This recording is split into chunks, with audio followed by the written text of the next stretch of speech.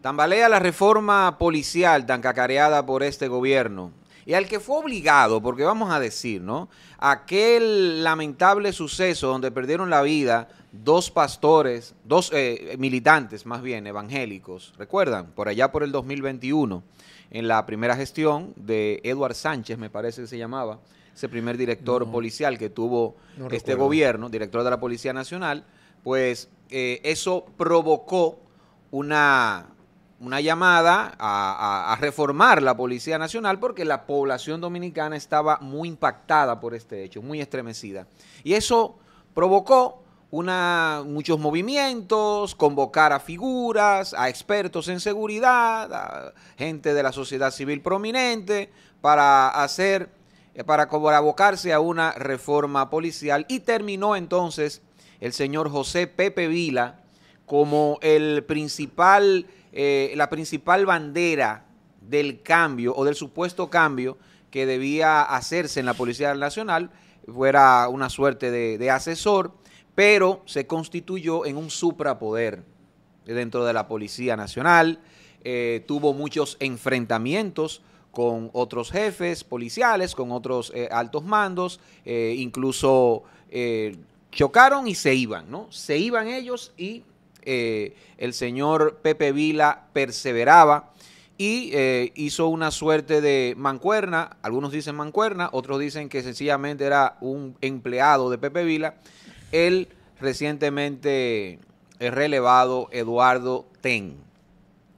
Eh, pero creo que el nuevo incumbente, el señor Guzmán Peralta, ¿verdad? Ramón Antonio Guzmán Peralta, ese militar que estuvo siendo escolta de Luis Abinader, ¿no? O jefe de su seguridad, más bien, cuando era candidato, y que recordemos en el que lo implicaron en aquel lío, ¿no? De las elecciones, que él estaba implicado en un supuesto complot junto a un técnico de la compañía telefónica Claro. Bueno, recordemos eso.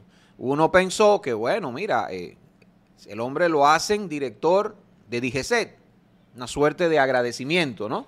Uno lo vio como un premio de agradecimiento, pero escala más, director de la Policía Nacional. Entonces, es un hombre de Abinader. De eso no hay dudas.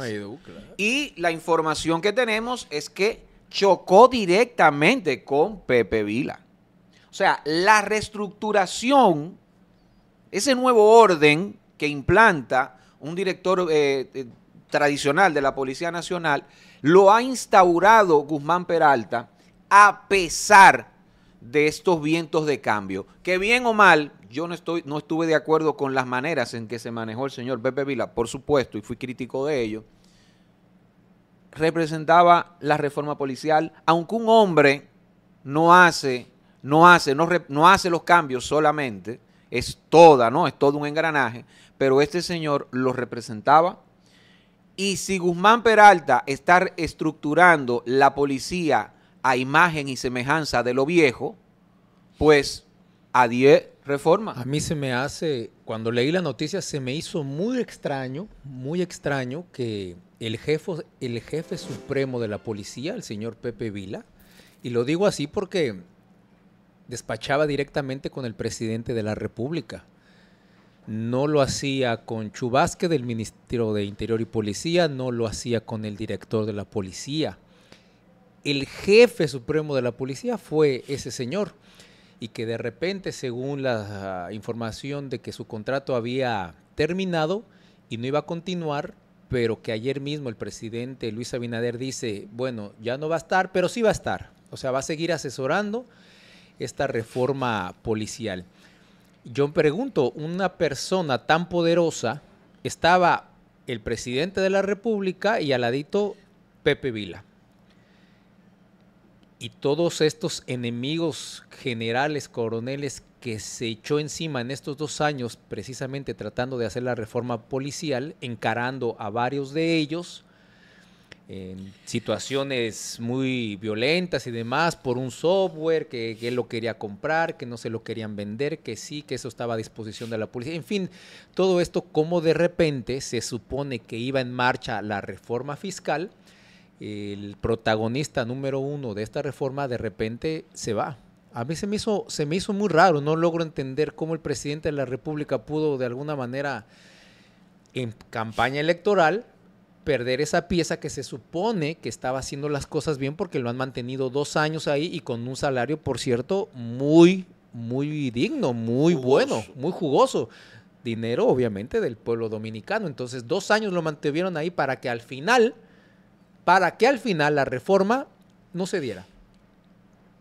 No, mira, yo pienso, yo le preguntara al presidente de la República mi, mi inquietud como ciudadano dominicano. Presidente, el informe final, ¿no? De dos años de trabajo del prestigioso, reputado y todopoderoso Pepe Vilas en la reforma policial. Una reforma que traía consigo esperanza, promesa de campaña, de que usted había prometido en el 2020 la campaña de que en dos años iba a reducir a la mitad la criminalidad de la República Dominicana. Y esto no solamente no ha sido así, sino que usted, y dándole el beneficio de la, de, de la rectificación, cuando choca con la realidad al dirigir un país, un Estado, se da cuenta de que no era tan simple como lo hacía, eh, como lo prometía en campaña. En virtud de eso, toma una decisión un poquito más aterrizada, digo yo, de designar a un especialista, aparte de haber hecho una comisión de, notables, ¿no? Para que hicieran un levantamiento y propusieran una reforma policial que supuestamente tenía ya en carpeta, con una propuesta que se la puso en disposición a su vez en su momento a Danilo Medina. Pero independientemente de todos esos saltos, ahora lo que tenemos es un Pepe Vila que agotó un contrato de dos años que se supone que hizo un trabajo. Entonces, si ya terminó el contrato de trabajo, él debió entregar un informe, ¿verdad? Un informe final de todos los logros y los cambios y las gestiones que hizo en estos dos años. Yo lo, que quisiera es ver ese resultado, realmente, ver ese informe. Porque ese informe final del trabajo de Pepe Vila en la reforma policial, independientemente de los cuestionamientos que podamos tener, ¿no? de lo que hemos visto hasta ahora, ese informe final lo que me va a dar a mí es lo que me va a dar a mí un criterio de si ha sido oportuna o no, o eficiente o no, o valiosa o no la, labor de Pepe Vila en esta reforma policial. Más allá de los detalles que podamos ver. ese informe va a decir, bueno, llegamos, estaba así, hicimos esto y logramos aquello. Y eso es lo que justificaría que Pepe Vila siga o no en el tren gubernamental, porque nadie votó por Pepe Vila, votamos por usted presidente y confiamos que usted elija, la, ¿verdad? Se supone, eh, tome las mejores decisiones. Y la decisión de continuar con Pepe Vila no puede ser al ojo por ciento. ¿Cuál es el informe de resultados? ¿Cuáles son los resultados que trajo Pepe Vila? Preséntenos ese informe, transparente, señor presidente. Bueno, señores, esta es la quinta pata. Mario Herrera, José Maracayo, El Charro Bachatero, Fernando González y Edwin Cruz. Recuerden suscribirse, activar campanita, comentar, darle a me gusta, sobre todo porque el algoritmo nos sigue proyectando y crecemos, como lo hacemos cada minuto.